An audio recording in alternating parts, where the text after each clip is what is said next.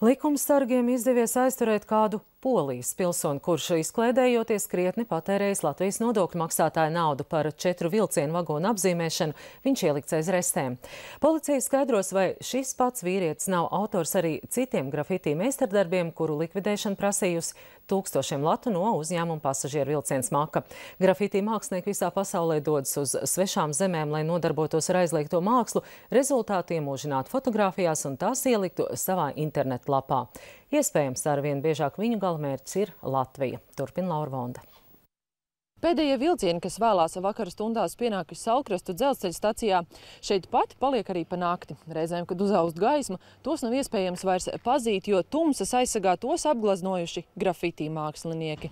Sanāca tā, ka mums jau no ceturtdienas vakara Salkrastos četras naktis pēc kārtas līdz svētdienai apkrā, tika apkrāsot vilcieni par katru minēto faktu uzsākts krimināla process tika.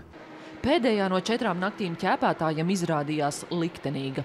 Policijai kopā ar vietējo apsardzes kompāniju izdevās aizturēt vienu no trim vaininiekiem. Pašvaldības policijas darbinieki pamanīja, ka notiek kaut kāda kustība pie vagoniem naktī centās aizturēt vainīgās personas. Tad viens pat bija noķerts, bet viņš izģērbās, atstāja savu jaku un aizmuka. Mēs uzcēlām trīs ekipāžus, kopumā kādas desmit cilvēku no, piedalījās ķeršanā. Ja.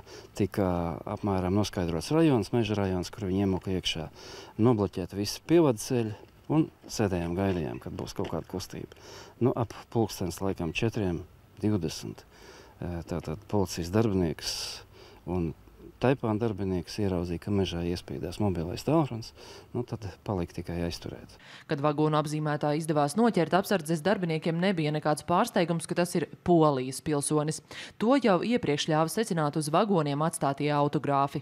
Izpētot iepriekš no pasažieru vilciena iesūtītos materiālus, kā arī internetā pieejamos restāvus, pastāv iespēja, ka šis Polijas pilsonis ir nu, grafitī mākslinieks, kas uh, maskējās zem segvārda krude, jeb crūde, ko var sastapt gan visā Rīgā, gan daudz kur Latvijā, un kā arī visā Eiropā, it īpaši Varšavā. Tā ir tāda vesela kustība, kas citi ir tādi, kas speciāli brauc no Amerikas zīmēt uz šejienu. Kā iepriekš tas bija, ko aizturēja Rīgā Faro, ja nemaldos, bija vai nu Šveices vai Dānijas pilsonis, kas arī speciāli brauc uz Latviju un zīmēja šeit. Taču šāds vaļasprieks dārgi izmaksā pasažieru vilcienam un līdz ar to arī katram no mums, jo vagoni tiek atjaunoti par nodokļu maksātāju naudu. Nu, šogad jau tā par ikdienu kļūst. Ja, mums pagājušajā gadā bija 43 gadījumi, 43 vagoni nokrāsot. Ja, kopējām izmaksām, ja nemaldos, kaut 4,5 tūkstoši. Ja, tad šogad jau ir 86 vagoni un kopējās izmaksas tuvu 12 tūkstošiem jau.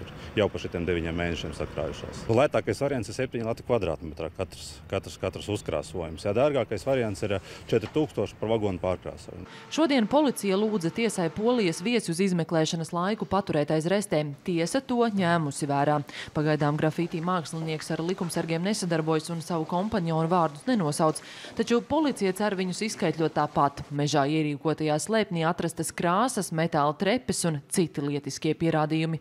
Likumsargi pieļauj vagonu apzīmēšana bija dažas dienas ilgās mākslinieka vizītes vienīgais mērķis. Piebildīšu, ka par šādu mantas bojāšanu var nopelnīt četrus gadus cietumā. Laura Vonda, Aigars Kovaļevskis, Ēriks Kraņevs, Latvijas televīzija.